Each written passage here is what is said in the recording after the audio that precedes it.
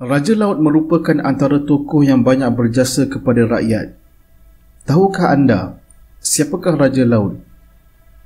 Dalam siri ini, kami akan berkongsi secara ringkas sejarah dan jasa beliau. Raja Laut Ibni Sultan Muhammad merupakan pentadbir dan Raja Muda Selangor. Beliau diberikan nama sedemikian kerana dilahirkan di laut berhampiran lukut. Sejak kecil, Raja Laut dipelihara oleh Raja Jumaat iaitu ketua daerah Lukut yang beristerikan Raja Senai. Pada 1857, Sultan Muhammad telah mangkat. Raja Laut yang sepatutnya berpeluang menaiki tahta tetapi Raja Abdul Samad iaitu sepupu Raja Laut telah dilantik. Raja Laut berkahwin dengan Raja Daing Cahaya dan dikurniakan seorang putera iaitu Raja Alam. Semasa Perang Kelang, iaitu dari 1863 sehingga 1873, Raja Laut bersama anak-anak Raja Selangor menyokong Raja Mahdi menentang Raja Abdullah dan Tengku Kudin dari Kedah.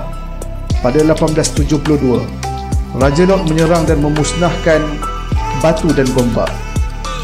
Selepas Raja Mahdi ditewaskan pada Mac 1873, Raja Laut menghilangkan diri selama beberapa tahun pada tahun 1881, Raja Laut kemudiannya telah dilantik sebagai ahli Majlis Mesyuarat Negeri Selangor. Disebabkan Raja Laut merupakan seorang yang berpengaruh, Frank Swettenham, iaitu residen British, seringkali meminta nasihat dari Raja Laut ketika menjalankan tugasnya. Pada 1883, Raja Laut telah dilantik sebagai Magistrat Peribumi. Pada tahun 1890, Raja Laut bersama Raja Bot bin Raja Jumaat iaitu anak saudaranya membantu ketua magistrat menguruskan hal perkahwinan orang Melayu di negeri Selangor kerana negeri Selangor tidak mempunyai kadi ketika itu. Beliau banyak menghabiskan masa dalam hal ehwal awam dalam majlis mesyuarat negeri. Beliau bersama Raja Bot memberi sokongan penuh kepada usaha untuk mengajar dan mendidik anak Melayu sehingga undang-undang diluluskan mewajibkan anak-anak Melayu menghantar anak mereka ke sekolah. Pada tahun 1898, Sultan Abdul Samad telah mangkat. Cucu baginda, iaitu Raja Sulaiman bin Raja Musa, ditabal sebagai Sultan.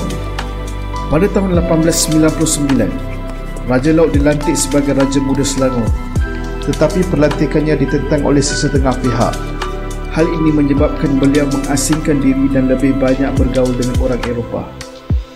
Raja Laut meninggal dunia pada 9 Jun 1913 dan namanya diabadikan di sebatang jalan di Kuala Lumpur.